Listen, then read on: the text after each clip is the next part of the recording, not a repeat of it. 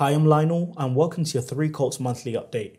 Today, we're going to talk about guided search, a brand new feature in tactical arbitrage. We've created guided search to help new users quickly familiarize themselves with tactical arbitrage and get the most out of it immediately. So, what is guided search? Let's jump into it. Guided search is a lightweight product search that you can use to search in two different ways by category or by site. And looking at the categories, you can see that we've narrowed it down into these specific and popular sections. If you go to view by site, you can look at your favorite sites and then drill further down by selecting a category. So let's take a deeper look into the categories. You can see that we've added a maximum number for all categories. This is to help users make more decisive decisions with their selections. For example, if you're in the sports and outdoor category, you can choose between winter sports and water sports. This all goes towards helping you become more integrated with tactical arbitrage. Let's move over to the right hand side of the screen and look at the filters. With each search, you can apply up to five filters. And by hovering over the question marks, it gives you an explanation explanation of what each filter means and represents. A simple example will be setting your gross ROI at 15%. And remember, if the selections are left blank, they'll default to a rating of 3 stars and a sales number of more than 1 per month. Once you've made your selection, simply click search and you'll get an option to track progress. You'll also receive an email with a bulk upload file that you can use for future searches.